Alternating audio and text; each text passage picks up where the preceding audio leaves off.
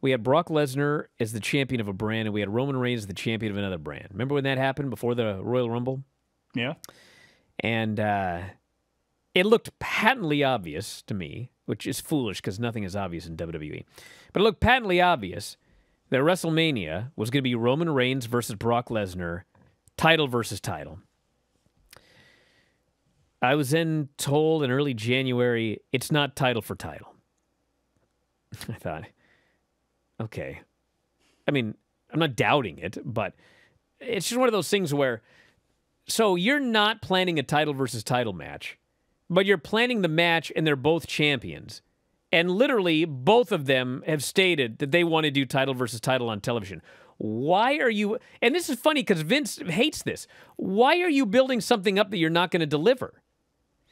Well, with the idea of their inevitable WrestleMania 38 clash now needing something new, WWE is considering making Lesnar versus Roman Reigns a title versus title match. Dave Meltzer reported the news in the latest Observer newsletter. He said the original plan did not have a title versus title stipulation, but, quote, plans change so frequently. He said the feeling is that because the two have had done the match before, this encounter would need something extra added to it that would increase the importance of this month's Elimination Chamber, as Lesnar would need to win the WWE title, currently held by Bobby Lashley, at the Chamber match that both men are part. I talked about this Monday after Raw. I was like, why is Lesnar in the Chamber? He's either got to win the title, and then fans are going to expect title versus title, so you either have to do title versus title, or what's the point of even doing the match? It's even worse if you do Roman versus Lesnar title, champion versus champion, and no titles on the line. How could you possibly care about that? So Lesnar either needs to lose or he needs to win the title and go title versus title. So maybe on Monday they'd already made this decision. But Vince is going to make the final call, obviously. But uh, yeah, he says the original plan was not to split Heyman and Lesnar, but that with the Raymond or Heyman Reigns dynamic being so strong and Lesnar not back full time, it was inevitable. The original plan for their reunion changed due to Reigns getting COVID 19 and needing to pull off the day one. So, as I expected, what they were going to do on day one, but they couldn't do because Roman had COVID, they did at the Royal Rumble. So, there you go. It's got to be title versus title. It has to be, right? Am I the only Yes. one? No. Do something that makes sense once, for God's sake, please. Plus, you know, maybe we can like fantasy book that into being one step closer to them getting rid of the brand split if there was only one world champion. At the very least, you would have either Roman Reigns or Brock Lesnar on both shows. That would be the fantasy, although it really doesn't matter anyway because what does the brand split mean? means nothing. Nothing. Not a damn thing. But you know what? They made a billion dollars when they had a brand split. So damn it, it must be the brand split. Hmm. Bro, listen. If you want to do your stupid, useless, pointless brand split that has zero positives, fine. I don't care. But unify the titles and at least have the champion go back and forth if he needs to.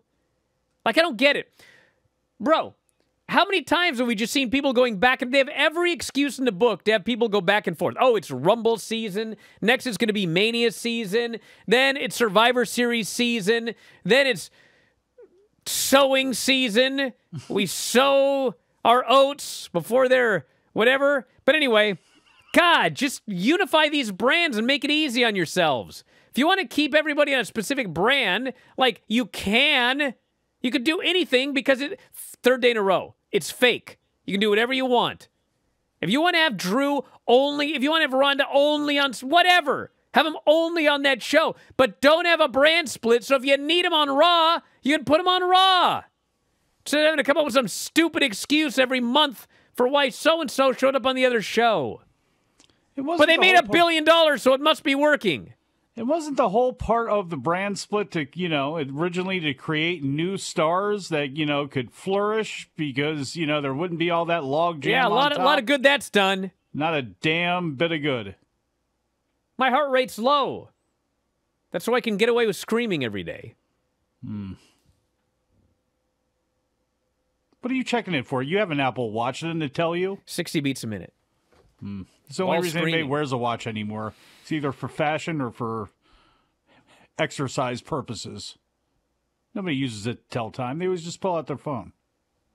Some of us don't carry our phones 24 7, Mike. Again, maybe it's just that as a Canadian who has always had health insurance, this doesn't seem Max smart enough to This, be a big this deal. is going to go to the best of right here, Lance. yeah, You're being corralled away by uh, by this dog. by a dog trying to eat my wife's uh, boots. Oh man, Oh, they said they must be tasty. Yeah, if my wife gets home and her good leather boots are chewed up, I'm dead. You'll be chewed up next. Yeah, I'll be living outside with the dog. If you enjoy these videos, for just $7.99 per month, you can enjoy full length editions of The Bryan and Vinny Show, Wrestling Observer Live, Figure 4 Daily with Tom Lawler and Lance Storm, the Mad Men podcast, Speak Now Pro Wrestling with Denise Salcedo, and more, plus hundreds of archived shows, all in beautiful HD.